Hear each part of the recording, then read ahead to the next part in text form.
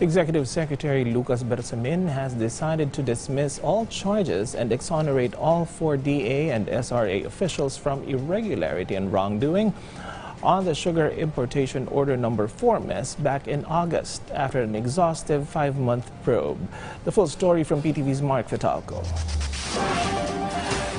The Agriculture Department respects the decision of the Office of the President to absolve four former DA and Sugar Regulatory Administration officials who were involved in the controversial Sugar Order Number 4. the uh, executive secretary has already approved no yung decision na yan.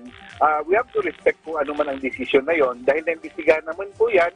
Nagsusend na yung mga uh, ibang sides ng kanilang panic at yan po napag na desisyonan po yan. In a resolution signed on December 29, 2022, the OP dismissed the charges of grave misconduct, gross dishonesty, and conduct prejudicial to the best interest of the service against former Agriculture Undersecretary Leocadio Sebastian, former SRA Administrator Hermenegildo Serafica, and former SRA board members Aurelio Valderrama and Roland Beltran. Malacanang instead admonished the respondents to be more prudent and circumspect in the performance of their duties. In a statement, Sebastian said he's delighted over the decision of the Office of the President, adding that this will enable them to move forward from a traumatic and challenging experience. On the question whether Sebastian would return to DA since he's in a plantilla position, Esto Perez said, Yan po ang pinag-usapan namin ano, doon sa Department of Agriculture kung ano pong position o kung anong sitwasyon kung sakaling babalik po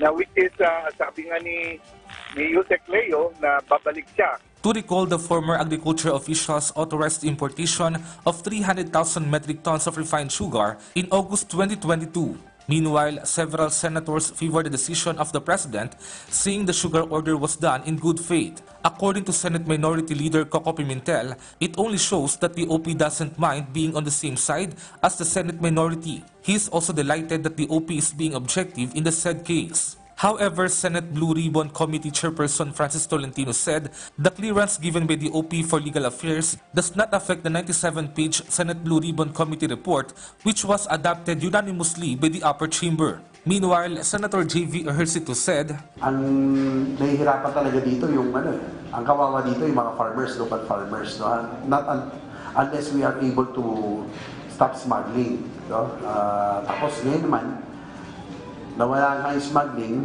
left and right naman issuance ng ah, importation permit. Mark Fetalco for The Nation.